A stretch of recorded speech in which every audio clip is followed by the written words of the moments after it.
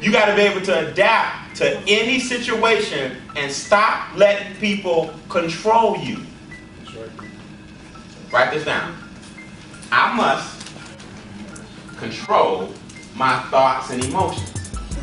That is extremely difficult to do. It is. It's difficult to do. Some of you guys are going to leave here today and get right outside those walls and get emotional about something that you had no control over whatsoever.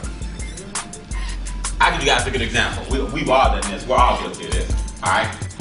You pull out, you're in the car, you drive, and you get into a near accident. And I mean, er, I'm talking about like where you didn't move, this clown cut you off, and if you hadn't reacted fast enough, that would have been a wreck. Who's been in that situation before?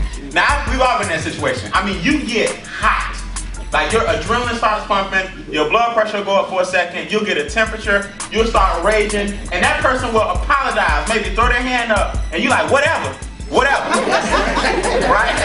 You better not hit my car, whatever. now,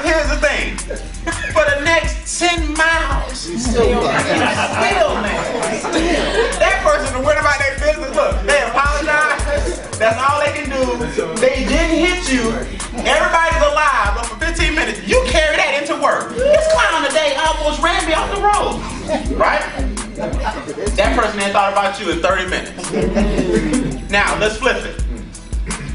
You the one almost hit somebody. Don't lie. It was your fault. I've been there. I'm like, oh, my fault. You thought you had enough. They get mad. You go, dang, I apologize. What's the problem? Ain't nobody hit your car. you see what I'm? So, but isn't it funny how when it's you, when it's your fault, you get you you clean up those emotions fast. I said, I'm sorry. You live, I live. but when it was you on the other side, for 30 minutes, you see, we're all emotional. The difference with me and those of us that hit diamond and above and all of that, we know how to channel that emotion properly. So when you come at us sideways, we know how to harness it, use it, show it to you in a different way, and present it in a way where you can turn your anger or your energy or whatever whatever state of mind you're in at that time into some production. And that's what you gotta learn how to do. You gotta learn how to harness your energy and turn it into something productive. Every emotion can have a positive outcome or advantage. It really can. I'll give you an example. A lot of people don't know there's a difference between jealousy and envy. There's a big difference. See, you can envy somebody and want what they want. Sometimes God, the universe, will put people in your life to show you that you need to spread your wings a little bit. But if you let that become jealousy or rage, that's when the emotion becomes like a problem. It's not wrong with being envious of another person.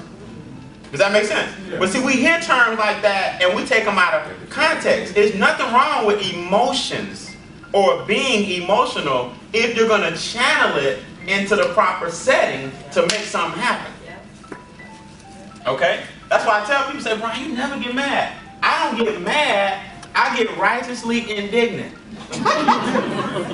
I only use anger to get something accomplished. I'm like, so-and-so don't piss me off. So I, I, guarantee you, I will show you the results of doing that. Does that make sense? I try to turn it into some form of action to make it productive.